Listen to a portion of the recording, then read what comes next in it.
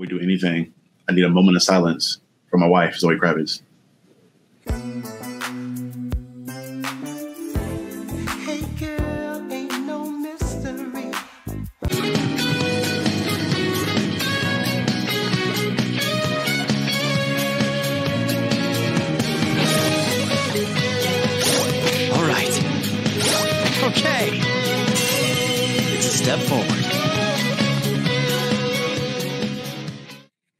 Why are we A? you said she's your wife. B, moment of silence. For how I fine don't- she I. I, need- I just- I needed I needed time to process how fine she was in this movie in totality. I, I don't good. think you apply We're good. moment of silence correctly. Hey, hey, hey, don't question it. We good. We good. I got my time in. Condolences to a person that's doing Condol- well. Condol- I, didn't, I didn't say condolence. I needed 10 seconds of silence to acknowledge how bad she was. We're here to talk about the Batman, guys. We just got done with our live show where we kind of gave our initial thoughts on it. But right now, we're about to get to this is spoiler. Spoiler alert. We're doing spoilers for this. If you haven't seen the movie yet and you watch this video, leave, come back, like, share, and subscribe, and then watch the whole video.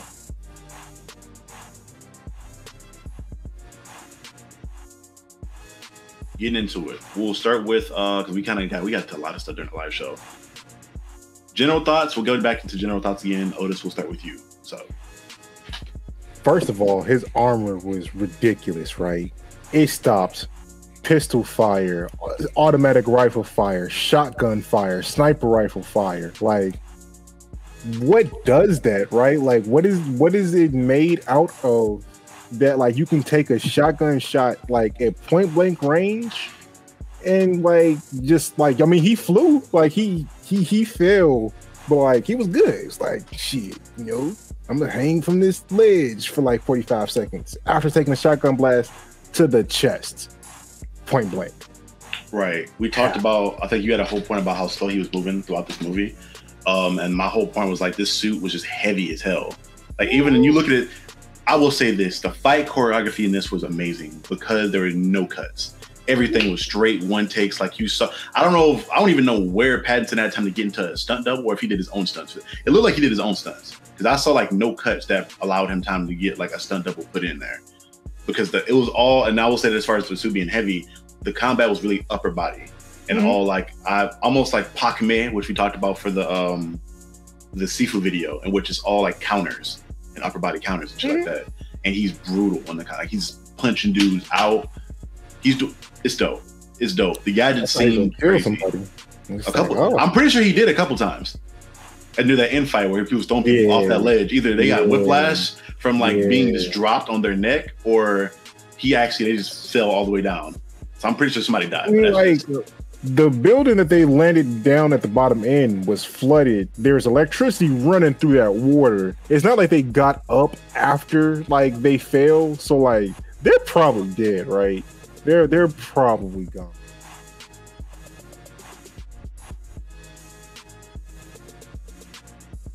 So, so a couple, a couple, a couple quick things.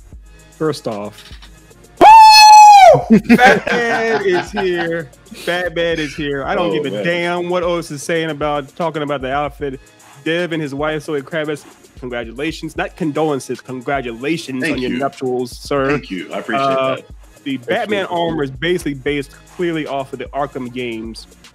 I'm not sure why it's so extremely Teflon Don and durable, but it apparently is. If you're a multi-billionaire and you spend all your money on making it over two years, I guess you can find a way to do that. Tanks It ain't perfect, but less durable than that armor, right? Like Yes, it's extremely durable. Now you asked me about the guys that you thought may have gotten killed. The the, the electricity didn't get the electricity didn't get to the water until uh, the wire came through, and as soon as it came through, Batman jumped on it and cut it. And Nice. even after that, when he went down with the wire, you saw him. He, you saw him land in the water. He didn't get electrocuted either. I'm not talking about the electrocution. I'm talking about the blunt force trauma of you falling like three stories up on your head in the water. right. I mean, they might they might have. I, I think it's I, I don't know. We, we actually didn't see any of them actually fall into the water or fall off. I'm not sure where they went. I'm not sure what happened to. Them. I don't know. I don't know. Uh, I also don't care. Um, it, it, the- here's what they did do. They made it clear that Batman. There's a part where it shows him hook them and kind of swing them around the side of the um, like back over the, that big huge like skybox thing, almost like, like they're they're back on top of it again. If they survived that, if they didn't, I'm not Mm. sure. They may have gotten messed up in the comic books. There's all kinds of times you see Batman put people in traction. It happens a lot. Mhm. The Joker's mouth in the comic books, it's lore where he has a messed up jaw and, and teeth because he's been punched so much by Batman. So it's not like he's a, a, a friendly neighborhood Spider-Man. He F's up dudes left and right. Uh, case number two. Woo! This movie's great. I loved it. It was a lot of fun. Otis had to come here with a lot of shade, a lot of shade. The shadiest shade you ever shaded. He would be Otis if he didn't. the light, brightness and happiness and sunshine, rainbow skittles.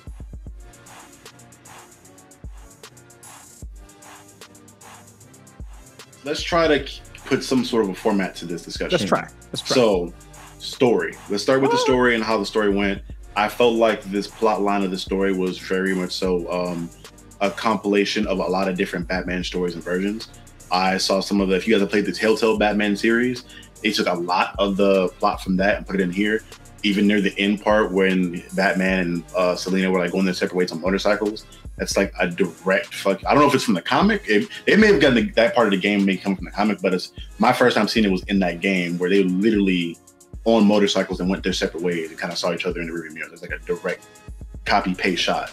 Um, so they, they took a lot of inspiration from a lot of different places. So Matt Reeves and the people that directed and wrote, uh, people that wrote this script did their homework, and I can't thank thank them more for that. That was as a fan, it makes me happy that you took effort into making this. I know that Reeves and his writing partner started on this in 2017. They rejected the script that that Warner Brothers sent them. They said he said I can't do this. This won't work.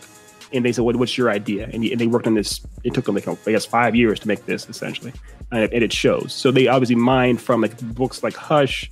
Um, obviously, Long Halloween is a big part of this.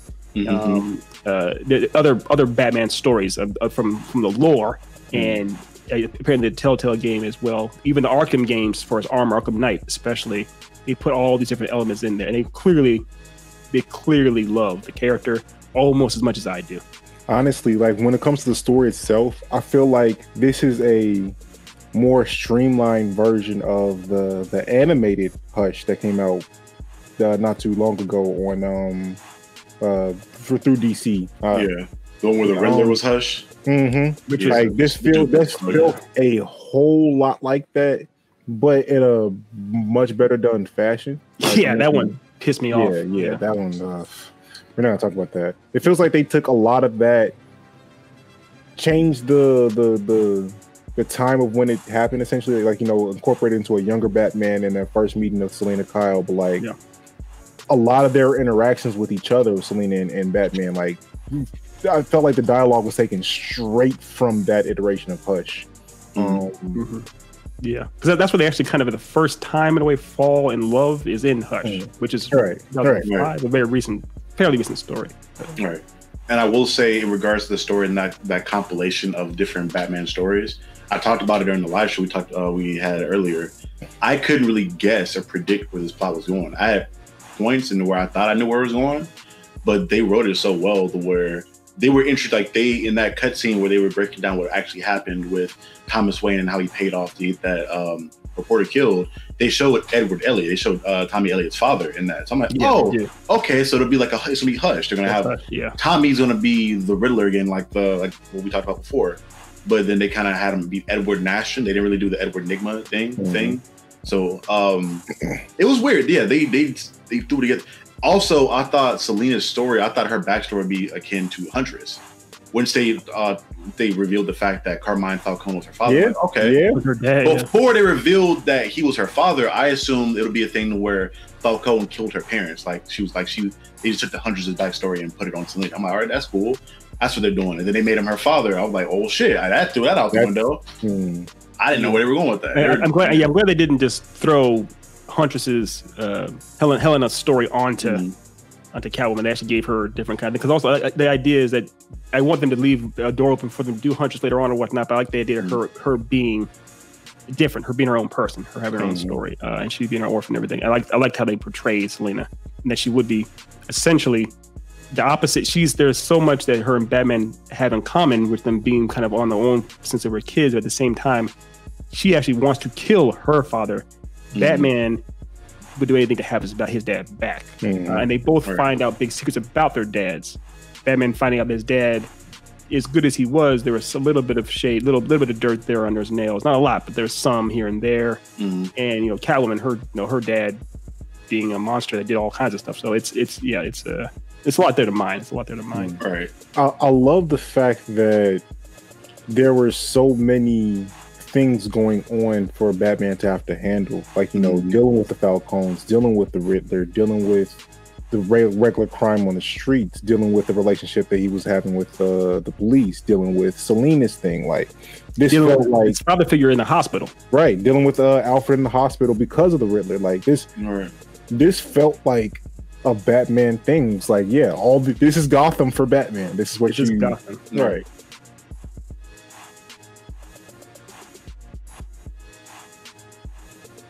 in regards to some of the getting into, getting into some of the characters, uh, Penguin. I thought that this edition of the Penguin was great. Um, Spot it's very it's very akin Spot on. to how they did Gotham. If you guys have watched Gotham, I love Gotham. I watched the whole series, even except for that last episode. I wanted to I, I do Anyway. I wanted to punch a hole in the wall. Couldn't make it past three episodes.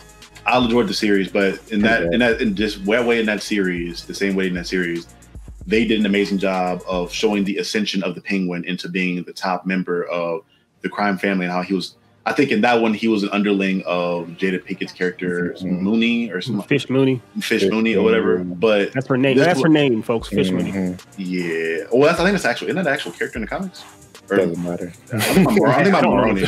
anyway, getting anyway, getting to the actual point was that show did a great job of showing the ascension of the penguin, and I think they really, again, they it felt I don't know if they did this on purpose, but it feels like they were watching and taking part of any and every Batman media or story they could find and like implementing that in this movie.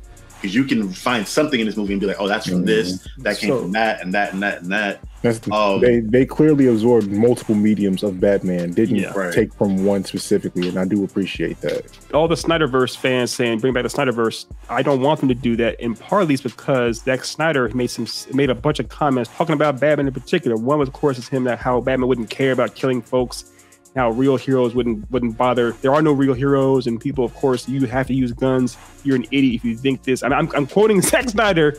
You're basically an idiot if you think you can go out in the streets and fight and not use guns. And this movie shows multiple times Batman not using guns, but it also shows shows that the writers um, and director clearly understood the character and how it's an important part for him not to use guns, but more importantly, they respected the lore of, of the character, what made him what tick essentially. You forget the important part though, the big thing that Snyder said about Batman. He wanted Batman to get raped in prison. Yeah, Right. that was another. thing. Yeah. he wanted it to be that dark. I'm like, oh, okay.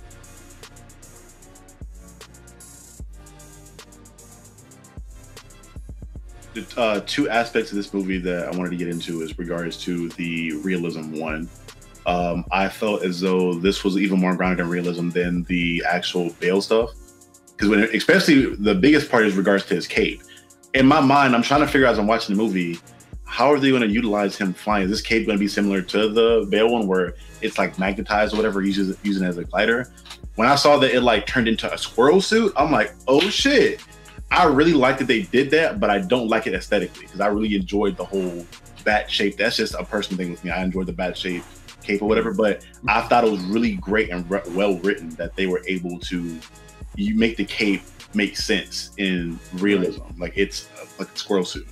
Um, I, I, I like that too. What I, one thing I like too is it seemed like, and you guys can correct me if I'm wrong.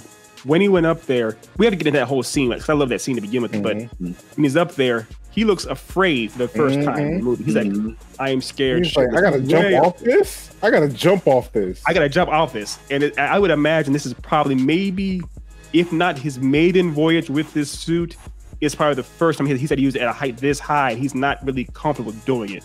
So he, Mhm. he so he zips himself up and he's like, kind of, uh, here we go. And it, it, it'll probably get refined. It has to get refined because it's it was a that was a rough rough flight and a rough Man, just want to landing. crash. 'Cause- Yeah, well, it was not. It was that did not go. That did not go as planned. He was not. He was not well after that. Uh, so it, it's. I like that it's made to almost look extra crude because it's going to get refined and polished more. Probably Right. if the movies go on. That's what I'm excited for for the next one is seeing how he improves upon all his gear.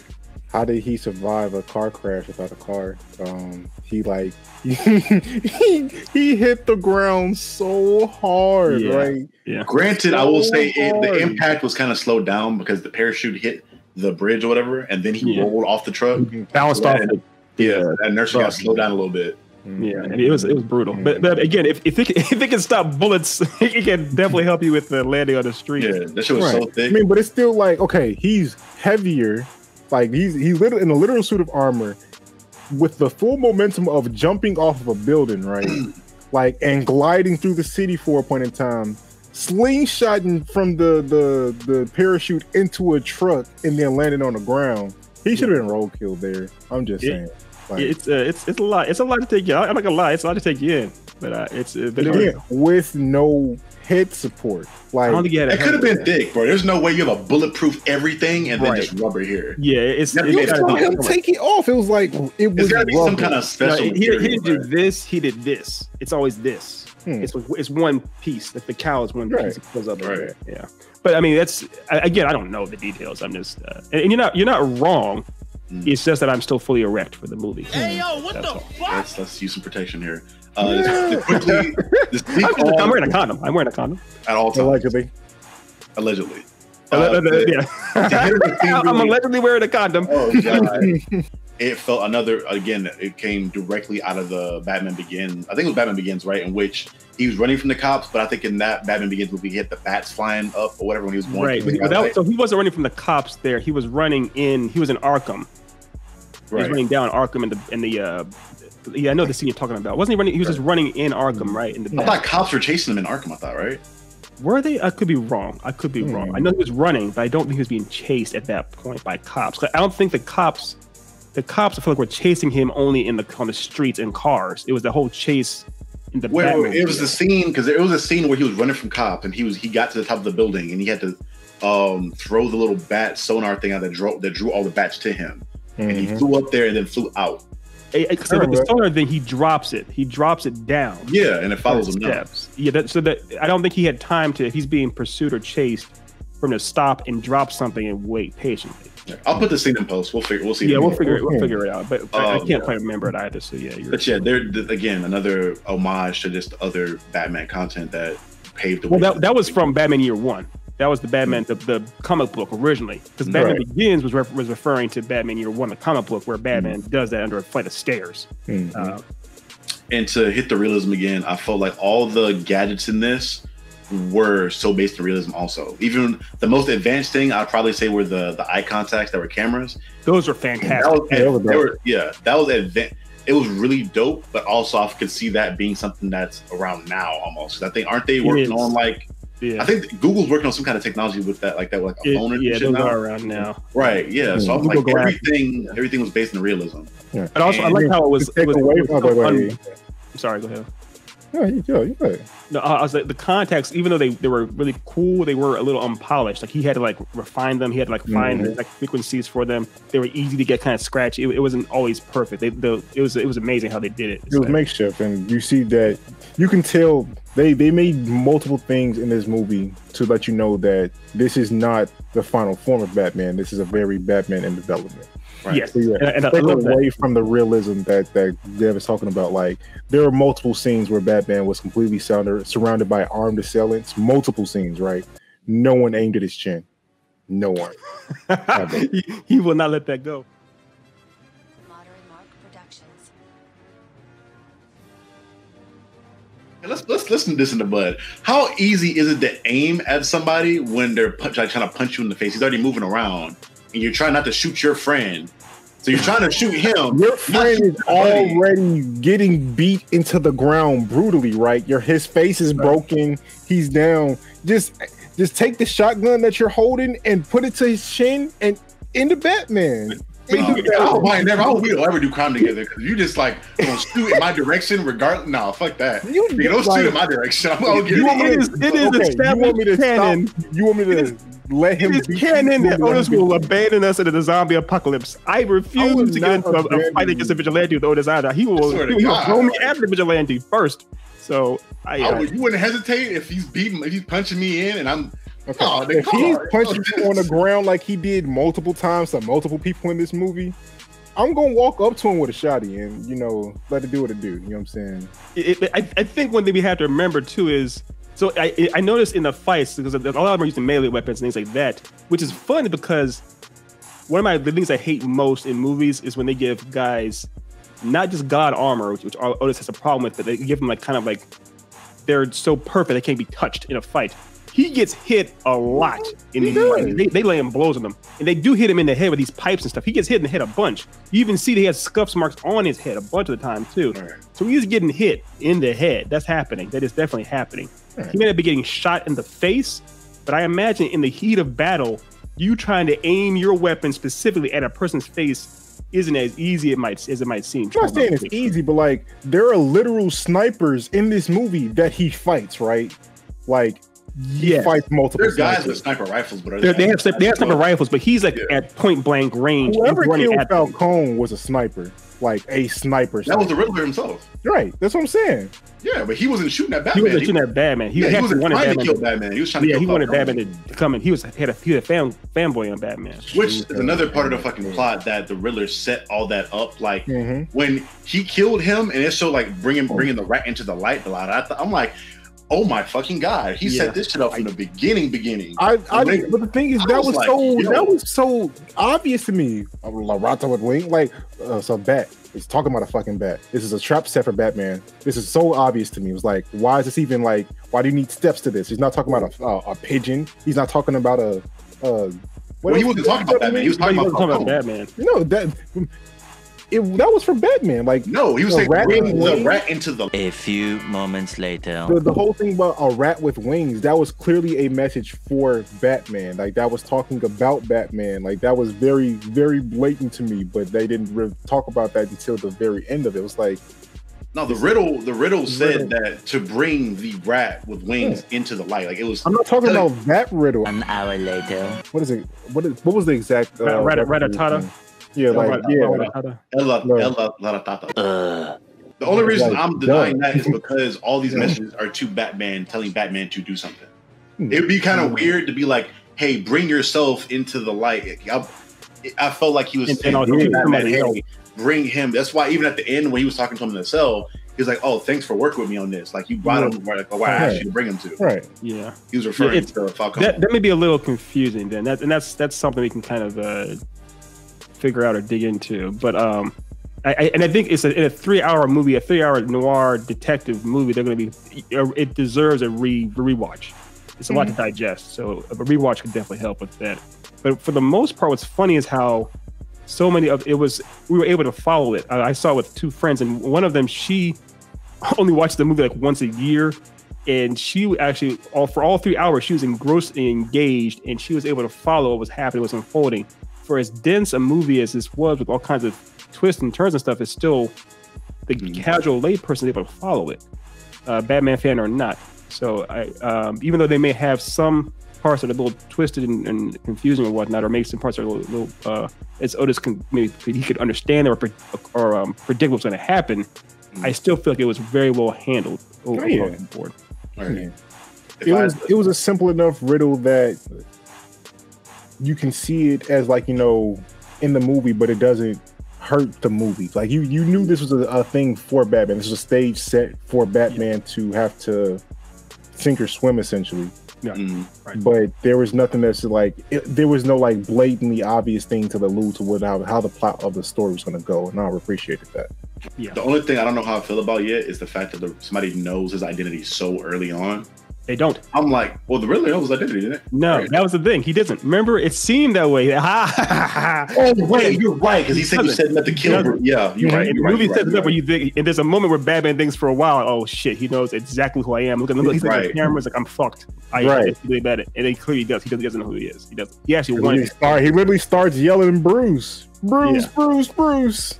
Which that's Yeah. one part about the Riddler that kind of irritated me a little bit. Like the the screaming thing was cool at first, but it got really excessive with him just Yeah, like he yelling and screaming. I'm like, I get you're crazy. I get it. I get it. I understand. You gotta. I've seen like people kind of like the Riddler in real life, so like his character did make sense to me because I've seen people that kind of act to that degree. Not to, not nowhere near to that extremity, of course. Like I don't know Jigsaw. For anybody that doesn't know, he's talking about the crackheads in Chicago when he would go get food and walk home from school. Go to get food. Yeah. Anyway, uh, I've seen people that are that that far gone. So his character, it made sense to me. Like I, I, It, I it- it- it.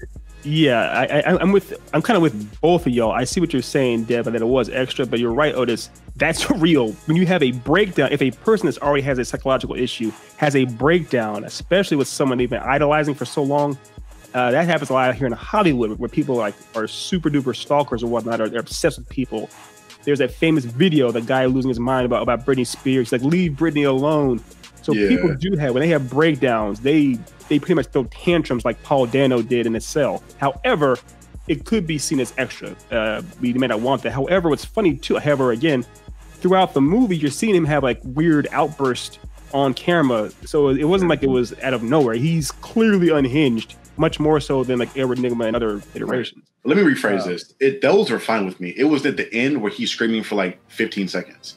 Yeah. Where it was like the excess, like the long, drawn out screams, and I'm like, Yeah. you look so cold and calculated with ticks before. Now it just seems like you're crazy, crazy now. Yeah. I never, I never took it as calculated though, because like even like like he was saying, like through the videos that he's seen, he was already unhinged even in those. Just like, oh okay, like he he he didn't he didn't snapped out of his rocker. Like he's not 100 percent put together. Like I mean, it's impressive the schemes that he put together in the state that he was in, but he mhm. was clearly in the state where he was just like not grounded at all anymore.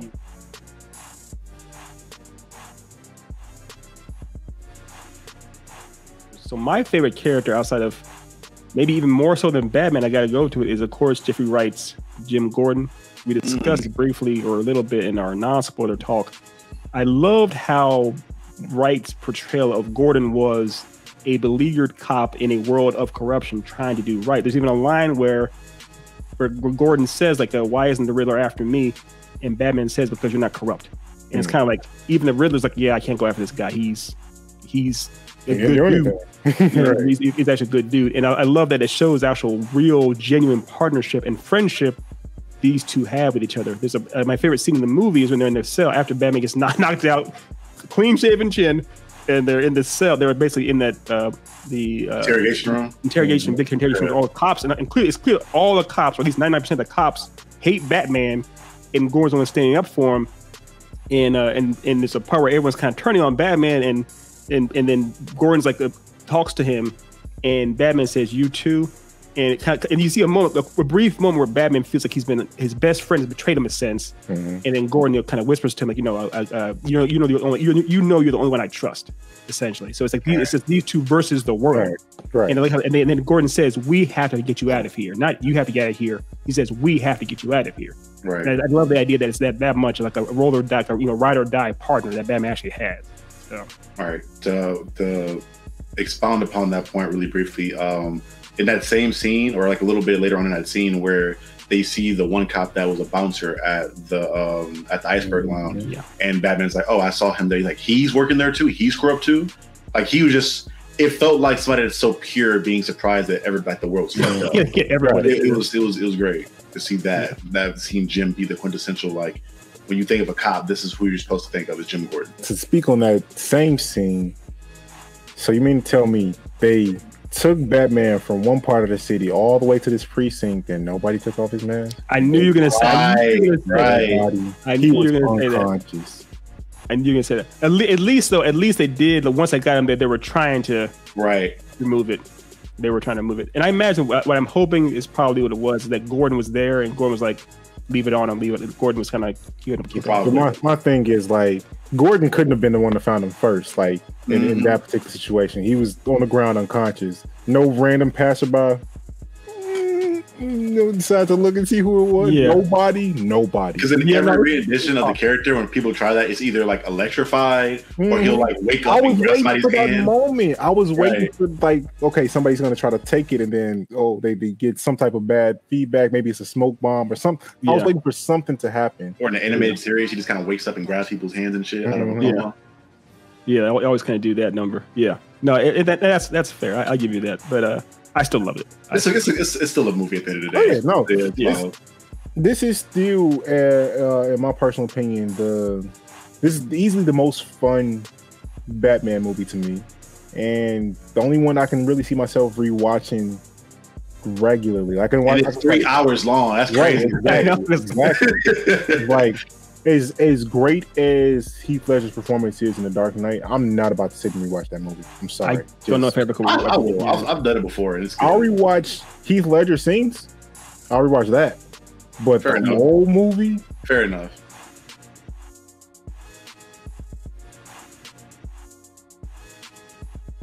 Let's go ahead and get into the character of Batman because I I think this this movie actually focused more on Batman in a way that the other films iterations, especially the they Keaton ones, really finally got focus the on brooding. They finally included the brooding.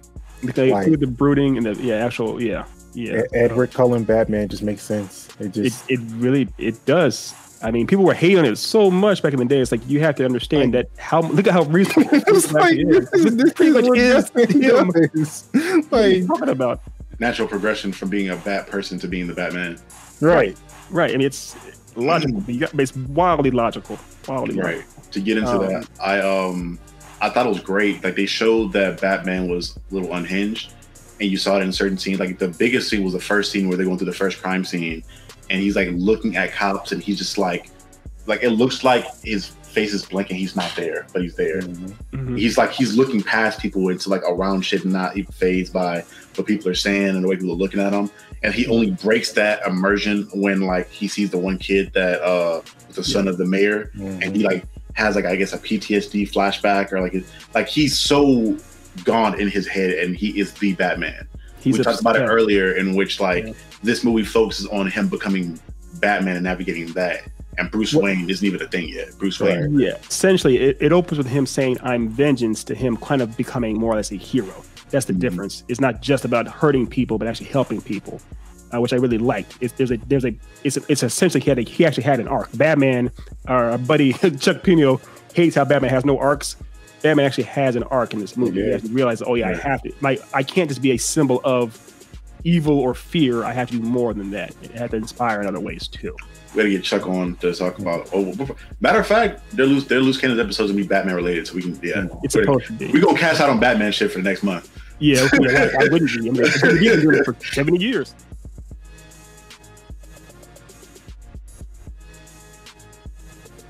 Let's talk about the Catwoman or Selina Kyle. We can talk about that character as well, uh, and also Dev's wife. So, how did y'all feel about that, just in general? Um, Hey, boo. Uh, okay, wait, wait, wait. Yo, yo, Oh. boo first. Go ahead, Charlie. Hey, my boo thing. Hey, let me tell you, this is my baby girl, bro. She's dope. Uh, in all seriousness, with this character, I felt as though it was. I talked about it earlier. She didn't seem like Cat. Like in the same vein that Batman wasn't Bruce Wayne yet. She wasn't Catwoman yet. She was Selina Kyle navigating the whole thing. Because again, she talked about she was running this whole score on Falcone the whole time to get this money because she felt like as someone that has a absent father and abandoned father, I can I, I empathize with her in the whole aspect of feeling like you were owed something. And she went out to try to get what she felt like she was owed. So it felt like a child in a woman's body the majority of the movie. And then near the end, once he died and she felt like this weight was alleviated off her, she can go out and like progress as her own person at the end. I feel like that was kind of kind of so her arc of like being that little girl the whole time. And you saw that like once they revealed that she was his daughter, I, I looked at those things differently. Like the scene where he has her by the chin. Initially, I thought it was like a real rapey type situation where oh she's attractive, he's an old creepy dude. That's what it is. But then when he grabbed her by the chin, she felt like you could see that whole uh, dynamic of like him being that father to her, and like she seeing the person that she wanted but she never had. Mhm. Um, like, but he doesn't actually know that he's his Yeah, he doesn't. So for him, it was Yeah. rapey, but for her, Right. she looked at him a certain way. She's like, right. "This is my daddy. This is my father." Yeah. Um, and again, a lot of that's one thing I love about this movie. A lot of things that they show early on, you don't get the full grasp of until it's revealed later on, and you go Right. like rewatch this movie a second time, you'll see things a lot. Yeah, you I was very, very fortunate that I had a father figure in my life, uh, my whole life. Still do. He's a great man, but Right. I, I can only imagine the damage it does to you when someone abandons you. That's the because both Bruce Mhm. Wayne and Selina Kyle have abandonment, severe abandonment issues. uh, Bruce Wayne's father didn't do it deliberately, but he they abandoned him by dying, and Right. obviously Kyle's wasn't wasn't around, uh, and then her mother died, and so it's kind of it, it affects you. It, it never ends. Essentially, it, it's something that you have to find a way to deal with. It takes a lot of you know treatment, psychology. Uh, I'm sorry, Mm. actual seeing a psychiatrist, that kind of stuff. So it's uh, I'm glad that it was brought up a lot in this movie. Right. They started to form a little bit of a codependency in a sense. Like you saw, Batman initially was kind of cold to Selina at first, and then the more and more like once he learned that Falcone was her father, they he's that empathy started to like grow. Like you can see like the roots attaching between them and between those two. And Yeah. they started to form sort of a codependency on one another, even down to the point to where, in that one scene where she called him to come kill that informant, that guy that killed uh, her roommate or whatever. Like Mhm. they they needed each other. They were using each other like a crutch mentally Yeah. and socially uh, for one another. So that, that that relationship seemed a lot more realistic than Mhm. any other Batwoman, Batman and Catwoman relationship ever. Thoroughly I, agree. com- I, I completely agree. Uh, I, I- I know I, I have a, all of us probably have a, a little bit of soft spot for the Batman Returns, the second Tim Burton movie, and it's fun to see Michelle Pfeiffer and Keaton together, but they don't have nearly as much of a connection. It's like it's just they're fun to see popular actors do things. There isn't as much of a developed, fleshed out relationship. And Catwoman goes from being a, you know, a, a kind of a traditional kind of a nerdy, uh, nebbish secretary to a super mega level villain like, overnight, literally overnight. And it's like, you, Right. where did where does where this character come from? What is Right. this? Yeah, There's, so it's, that whole dynamic of Catwoman. Like initially, I like the dynamic of Catwoman and Batman was the the mystique, almost kind of like a Black Cat and Spider Man, where it's like, oh, you're attractive, much. you're mysterious, I like Right. you. This one, it was more so, yeah, you're mysterious, but I I feel your pain and I, I know how you feel. right. Mhm. There's actual connection there. Yeah. Mhm. Uh, there's one scene with the Batman and Selina that I want to talk about is uh when the he sends her into the bar with the contacts on. Mhm. The the connection that they had in that scene was so so well done. Like how fluently she received the orders from from Bruce and like acted on, those like in the club was was was was fantastic. Like Yeah. Right. said like look back, look back, and she you know she gave the, the little look back like you know like she made it look so natural but she was literally following orders to the t i think that was just a, a Right. really well done scene It was a, it was fun to watch them as partners. The first time to see Batman and Catwoman as Hmm. partners. I mean, they tried to kind of do something like that in uh, the Dark Knight Rises, but it was like, what is this? It didn't. It didn't, Right. It didn't dive. Um, it was it was dope to see like her being like it's we we talked about this a little bit with the costume thing with Batgirl and the whole femininity thing. It was great to see a woman be within her sexual femininity and then also be a, like a contributing thing. It wasn't like she's attractive. That's great. We see that. But she even used her attraction to her advantage sometimes to actually be relevant within the Mhm. story yeah. like that whole point in the club where she like he's telling her to look back. She's like no if i look back he's gonna come over here. I already know what's about to happen. I know what it is. She's like Mhm. all right i look back. It's like see i told you he's gonna come over here. Like she's like very much so a woman Mhm. doing shit not a woman doing women shit. She's a character. Yeah. a woman being a significant part of that. I, I love that. I adored that. But, but she she's using all of the all of the things that are provided to her to get what she wants, which is understandable. And Any of us, gender not you know excluded, would do the same thing.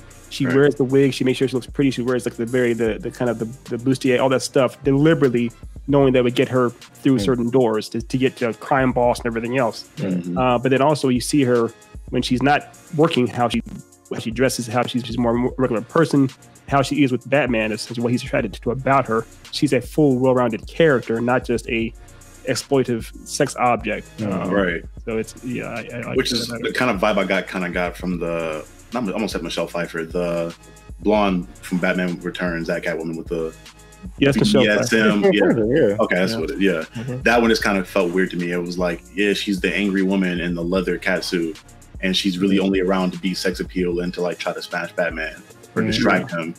Um, Yeah. And my, that's again, if I'm wrong, y'all let me know in the comments. But that's how the way I felt about that movie. I loved it. Thought she was cool, but it didn't feel like she was relevant to the story at all. right she was she was an ornament to the story not necessarily a, a central piece to it Mhm. That's how I this felt. well this like she was central like to the plot of the entire movie. Like she Right. was very Right. important to the story. And it, it was in a different way too because part of what this is showing with with her friend uh, we haven't talked about Annika her friend who kind of brings her into the story is to show the ramifications what happens when gangsters and crime lords the people that it affects. It's not because the, the, the, a big part of the story is how we always see things from Batman's point of view.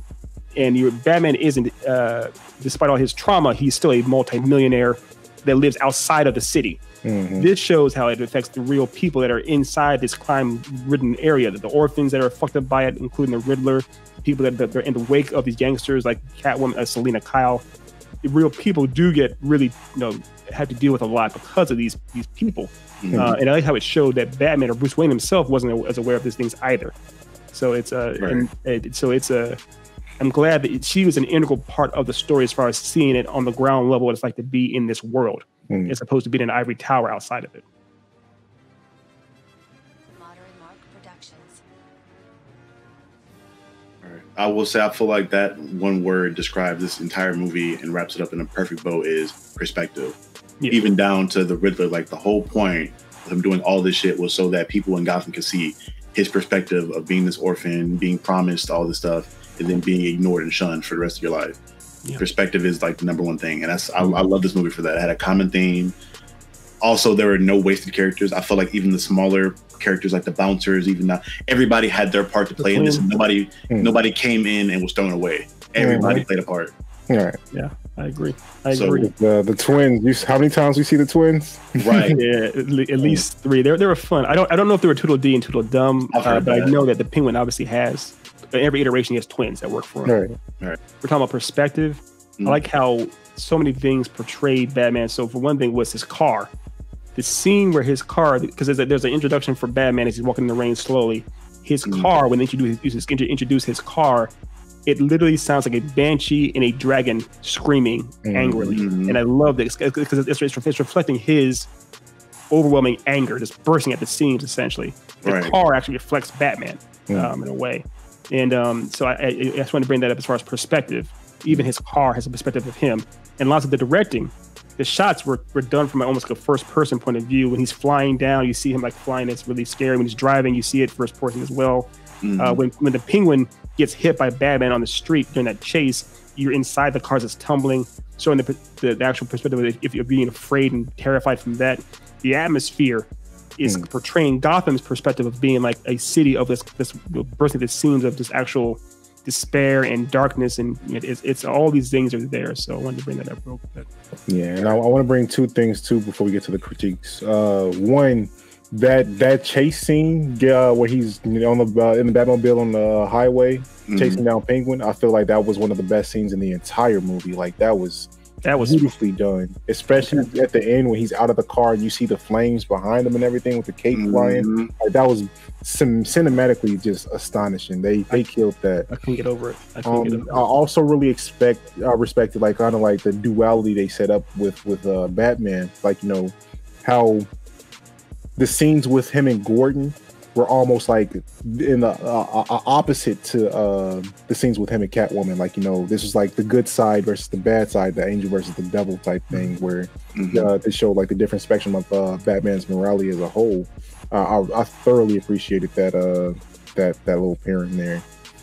But, Yeah. oh yeah, the critiques. We, we can get to that. And- and- Um, and just yeah. to piggyback on what you said, oh, I love how at the end, I don't know definitively if Batman would have left Gotham to go off with Catwoman, but I like how it's when it's presented to him, right on cue, the bat signal goes up and he looks over at it, and she's like, "Yeah, you can't. You're never gonna. You can't. You've spoken for it." You've Right. spoken for. She said the word you Right. spoke, which is a great line, and and without saying anything, and she just leaves. But then again, like they was talking about how when, when they're leaving, you can see the actual a pain or essentially the hurt when Batman has to watch his the first love of his life essentially right off from him. And the music, the music is perfect as it watches it too. It's like yeah, actually he actually does. For the first time, he's dealing with the idea that this job does come at a cost. It's not just physical pain, but it's also there's emotional pain too. So Right.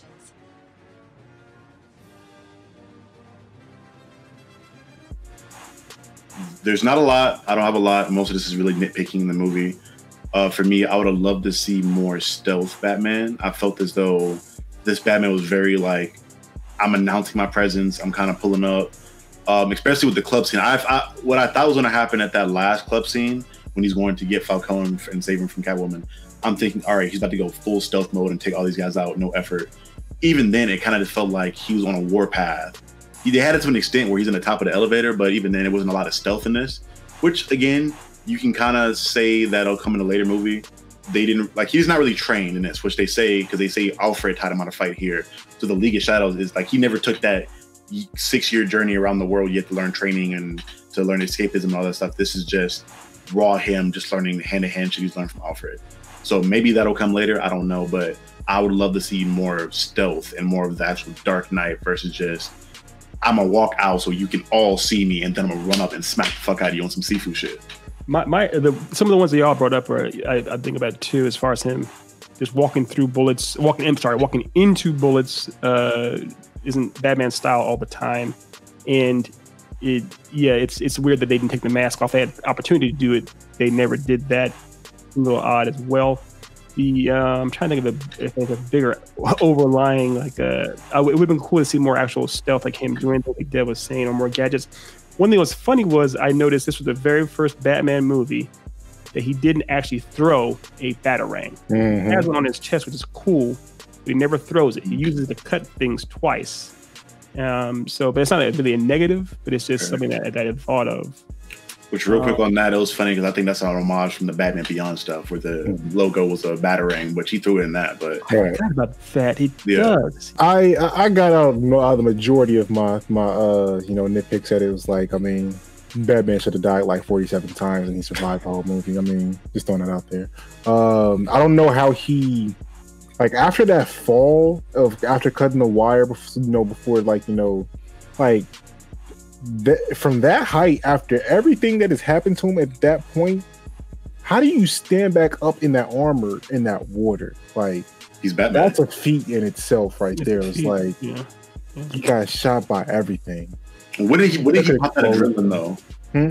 Did he pop the adrenaline before he fell into the water though? Yeah, Yeah. he did. He So, had yeah, to. that could be part of it. He he's still, had he's still, he's adrenaline. still, he's still juiced. He's still juiced Yeah. up. And then um, I'm a little bit worried about how the the tone of this is gonna go going forward because like where they're setting it up is like you know Batman is the the the savior of this city. Like he's very friendly with the police. He's very friendly with the the people. Like he's very well accepted. And mm-hmm. part of the thing that made Batman Batman is the fact that he was the like you know he he wasn't like what the police wanted. Like he was he was the he's the Dark Knight. Like he's not what you want. He's what you need. So mm-hmm. I'm, I'm a little bit worried about how they do handle that going forward, but I won't really count that as a knock against them. My only counter to that would be that the one edition that the, I feel like the initial rendition of the character that made everybody fall in love with him in the animated series, he was friends with Commissioner Gordon at that point. Like he had the bat signal of he was at crime scenes solving crimes, and people fell in love with him at that point. But uh, even with that, though, yeah, yeah, I know what you're saying, Dev. But that was still Gordon. Gordon and him were good, and the other Mm. cops, because Gordon was the top dog, he he, he gave the orders. They, they would leave him alone. Mm. Bullock clearly still hated him. Um, Montoya didn't know what to think of him, but the cops pretty much just stayed away from him. They didn't Right. almost like a wild dog. You kind of just like you knew just to keep your distance more so than they were like accepting him and welcoming him to have parties and that kind of stuff. Hmm. Uh, what you're saying, Otis, it's a it's a very valid point. And I thought about that too. I think what'll happen is probably either something will happen to kind of cha- change the public opinion on Batman in some way, or he'll still be. People still won't. They'll say, "Well, if he's our hero, why doesn't he present himself more often? What's he doing?" Or he'll still be a vigilante in some sense. So it won't be completely like open arms. But it's a valid point. It seemed like he was very much more like hands on with people. But at the same time, I kind of like the idea that one of my favorite scenes was literally um, after he puts the person he's carrying into the the gurney of sorts, Mhm. uh, and she's like holding on to him, like uh, uh, in, in shock more or less, and he just like slowly like is holding her hand and lets her go. Kind of the idea of like if you were, yes, I, I wasn't at 9/11, but I know there are plenty of times where there's plenty of footage with people that were being um, carried out by uh, cops and firemen did the exact same thing. Where you're just like, I'm still terrified. I need someone to hold on to. Mhm. So it's I, I, I, it's fun to see him actually as a definitive hero, but I think that we'll have to find a way to get him much more into the shadows again.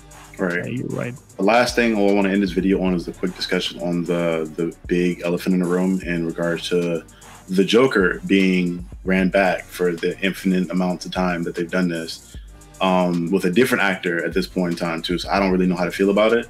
I, like I said in the live stream, I preferred for them to go into the Rogues Gallery a little deeper and find like the Calendar Man, the Mad Hatter, uh, somebody that isn't that Clayface.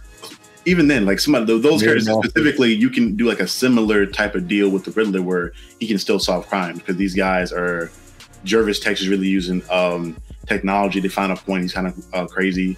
Calendar Man's kind of like the Riddler in a sense where he's using the days, the months, the year to solve uh, commit his crimes or whatever. There, there is there is similar things you could have done there in similar tone. Now with the Joker, there's like now there's expectation because you have the Heath Ledger and Joaquin Phoenix thing hovering over your head and it's I, I don't know. I feel like they're setting it up to be difficult. I, I don't think he's going to show up in the second film, at least not as the main baddie. yeah, I And I'm hope glad they didn't actually, you don't actually see his face. You hear his laugh. And actually, his voice was fine. It it actually sounded very much like a hard New Yorker.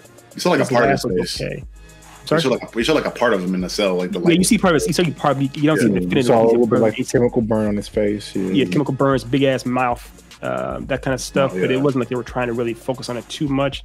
I thought, I thought at first when we started talking, it was a Calendar Man because Calendar Man isn't obviously in Arkham 2. He's- Mhm. It has all his numbers there, but it wasn't him. Uh, I'm right there with you, Dev. I don't want them to bring. We've gotten so much Joker. We keep getting Joker. We Mhm. don't need to have him back again, and we don't need to have it another version that could be.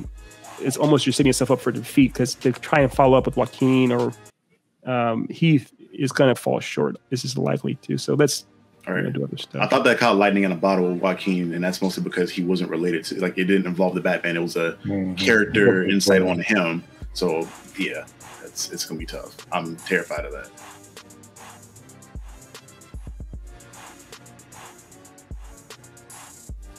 Well, is there any other thoughts, any closing remarks about the movie? before We gotta out of rate here? it. We gotta rate it. Oh, I forgot about the rating. I always forget about the ratings. Uh, we'll start left to right. So, oh, that's what you got. Uh, it's an eight and a half to me. This is this is this is a really good movie. Um, the the biggest thing that takes away for it from me is the fact that it did feel long. Like a lot happened, a great a lot of great events happened. They this felt long. They got to find a way to kind of streamline that for future movies for me. All right. In, in all fairness, though, too, Otis did. You came off of like what time did you go see this movie? 11 p.m. 11? Yeah. yeah, you went to a, at 11 p.m. after doing a li- like a live stream for like a couple hours of the game. So you you went in there already uh, on fumes. I think I went and saw that at six o'clock. I think you saw like seven or eight. yeah, yeah, I saw it. at Eight, We eight- saw it relatively early. While I was like awake the whole time. So I was, yeah, I was definitely. I, I was took already like I had gotten ice cream and eating food before, so I was already like amped up and like a little voice sitting waiting to see it. yeah, um, yeah. so it didn't seem like it was. I could tell it was long, but I Yeah. didn't feel like it ran over. That was just me personally, though. Um, yeah, but I, I know where I was coming from. I know where I was Right. coming from. I, I enjoyed it, but it and it was long. But I I, I still, yeah, I get it. Yeah. So for me, I'm giving it a nine out of ten. They're like the so I, I love to see more. If I would saw the stealth stuff, I'd give it a ten. That would, if as a Batman fan, that's the one thing that was missing for me was the stealth combat that I wanted to see from Batman and him utilizing his gadgets more to Mhm. put fear into people, which he put fear into people, but not through the stealth stuff. Um, Yeah. Outside of that, it was like the almost damn near the perfect Batman movie for me Yeah. as a Batman fan. So out of ten. Yeah, if you use like his smoke pellets to do some stuff, uh, Mm. yeah, that'd be cool. Um, I'm I am well, actually because so the one of the most iconic scenes or things that Batman does is he breaks into like a skylight into a club or whatnot, and he gets a drop on people. They Mhm. actually had that in this movie Mhm. with the snipers. He the, the windows break, he drops in Mhm. there on down on top of him. It's like that's that's fucking Batman. Um, I, I I hate to do this, but I got to go ten out of ten. I have to go ten it, it is mainly because I'm str- I'm struggling to think about things that I didn't like about it. I know the whole bulletproof Right. armor and the mask. That's that's fine. I get it. I still loved it, and it's, it's my own personal thing. I would give it a ten. The, the other thing too is that the the things that were missing from the Nolan stuff for me weren't missing here. In Nolan's world, I love Hans Zimmer, but his score for those movies just didn't work. It was like it somewhat almost seemed jolly or weird at times. I was it wasn't immersed with it. With this movie, I've been listening to the soundtrack nonstop since I got home from the movie, and the, in the movie it, it kept you engaged the entire time. I loved how Batman, his persona, he was larger than life. As he as he, crept, as he walked in, and the suit, those boots made a sound. You actually knew he was around all the time. Mhm. I love the buddy cop angle with him and Gordon. I can't deny that. So for that, I just have to go. I have to go full top. Yeah. marks. Those boots made me feel like the it was really reminiscent of that Darth Vader scene at the end of the uh the Rogue, whatever where he's walking through the smoke and is fucking shit up. That was some Darth Vader shit. But yeah, Yeah. that's my last point. Um thank you guys for tuning in. This has been a great movie. Like this is probably one of the better I think honestly this may be the highest rated movie that we covered this year. It's my it's my bet. Maybe Multiverse of Madness is better. We'll see. Um but it was great. I'm I'm really happy we saw this. We all have been itching to do this review since we saw it. Uh, so if you guys enjoyed it, let us know what you guys think in the comments. Remember to like, share, subscribe to the video. Um, we have more dope shit coming for you guys uh, coming pretty soon. And this has been another episode of the Then and Now podcast. And thank you guys for tuning for tuning in. That's what brooding looks like, Christian Bale. That's what brooding looks like.